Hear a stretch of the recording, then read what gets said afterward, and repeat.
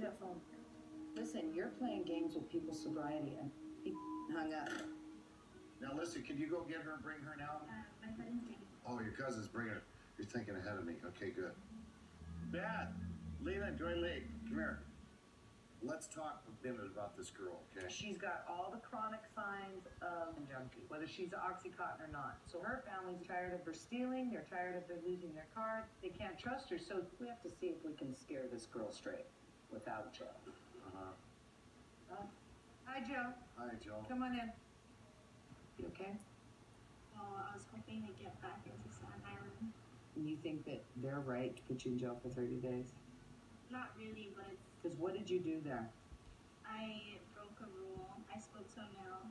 About what? She spoke to a male, so she's getting 30 days in jail. This can't be real life, folks. got kicked out, but Did you meet like chronics, real ones? everyone's chronic there. I'm a chronic Why do you Okay. think that?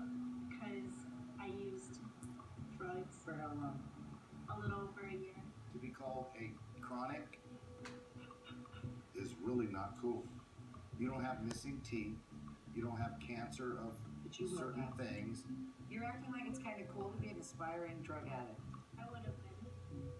Still are, right? Because if somebody came up to you right now and said, hey, let's go get high, would you go? Maybe not right now because I'm here with you guys. I'm not saying That's what honesty looks like. I'm not your sister. I don't know about this. This, this, this, this.